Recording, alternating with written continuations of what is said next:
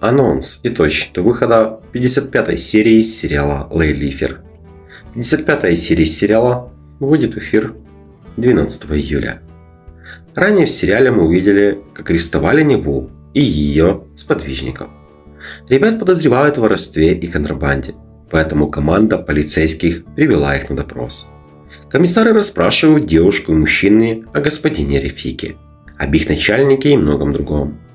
Нева утверждает, что ни при чем. Говорит, что не настолько глупа, чтобы заниматься подобным.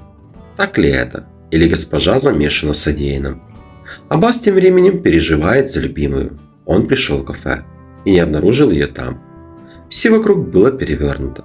К счастью, местный мальчишка узнал, что случилось, и сообщил обо всем Аббасу. Позже, когда раскроется незаконная деятельность группировки, а также состав ее участников, Мирьем несет свое слово – она спасет Азиза от подписания зловещего контракта. Девушка разорет бумаги на глазах у всех и передаст привет начальнику злоумышленников. 55-я серия сериала будет в эфир 12 июля.